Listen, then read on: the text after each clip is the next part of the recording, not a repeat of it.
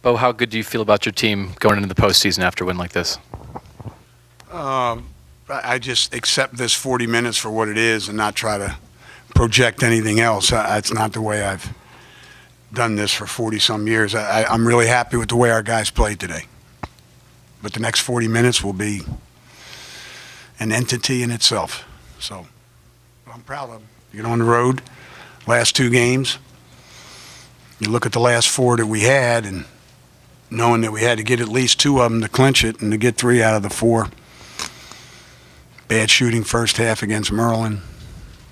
Who knows how that one would have turned out, but Bo, what did we'll you take guys, three out of three out of the last four. what were you guys able to do from the beginning to take control of the game, and, and how did you guys react when you saw Ohio State had Tate on Kaminsky?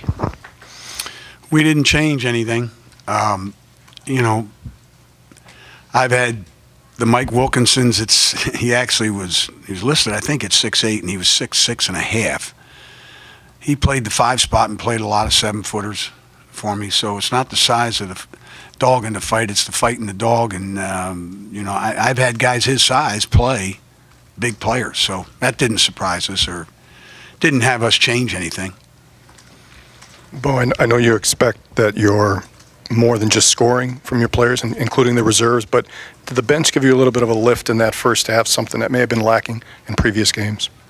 Well, yeah. I mean, it's it's obvious if you look. Doesn't it say 14 to two bench scoring? I can't remember. Yeah, how it ended up, but you know, we'll take that anytime. Um, they made good plays. They rebounded, played defense. You know, it doesn't have to show up in points. We're just looking for addition in any way.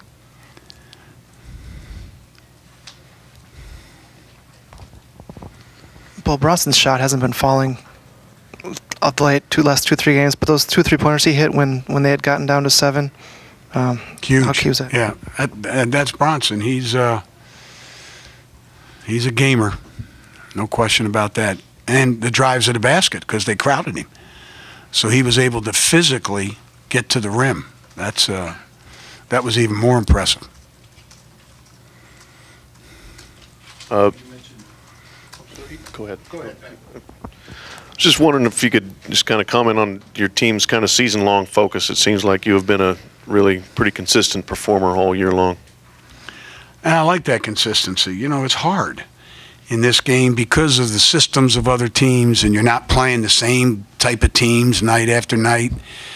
Teams that are strong in this area, that area. Um, yeah, it's you know, last year we hit a we hit a rough spot of not you know not shooting the ball consistently and kind of took it on the chop, took it uh, you know in the face a couple times, and then we came back at the end of the year. But I think, um, you know, you just have to say, you look at Rutgers, you, you look at a guy like Frank who actually had to sit out a game, and you see how much he means to us. It really magnifies how good Frank Kaminsky is and how he influences the people around him.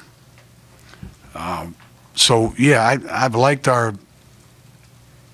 approach to practice, the way they've come every day. I like their, they, they know, they know when, um, when we need to knuckle down and, and certain things to work on, and they're not bashful that way. Their, their work ethic is pretty good. Bo, along those same lines, um, you mentioned getting, needing two out of four, getting three out of four. With, with having clinched the other night, did you have any question in your mind how your guys might play today, or were you confident they'd I really didn't, not because of how old they are, because of the experience. Um, I mean, at least that if we were going to get knocked down, it wasn't going to be because we weren't out there diving for loose balls, playing hard, playing tough. Yeah, no, they didn't come in thinking anything other than we're playing a good team who's playing well now and one of the better players in the country. And no, our, our guys knew the task at hand. Along those lines, uh, you mentioned Russ, D'Angelo Russell. Do you think Josh made him work for some things today that perhaps in other games he hasn't had to work for? Yeah, I think Josh makes a lot of people work. Uh, you know, he does in practice every day, and he, he's never taken a possession off. Um, in the years he's been in the years he's been with us. And you know, Hollins, he did a great job on Hollins uh, the other night. Both these games being on the road and him bringing his defense. You can always take your defense on the road. Uh, and he certainly brought his.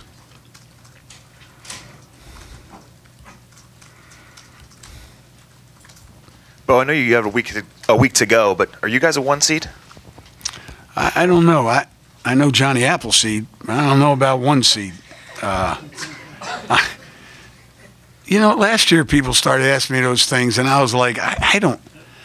I knew, I wouldn't know Joe Lunardi if he was standing right here right now. I don't know about the seeds. I never look at that. We always turn the channel at home when they start talking seeds.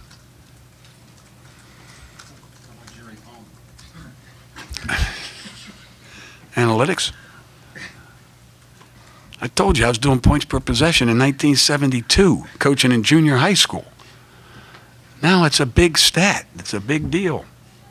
I've always thought it's a big deal.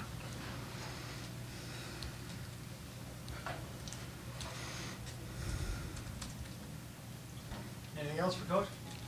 We'll do Wisconsin players right outside the hallway here where it's kind of a wider area. Thanks. Thanks. And you got to remember, I had a sense of humor too when you guys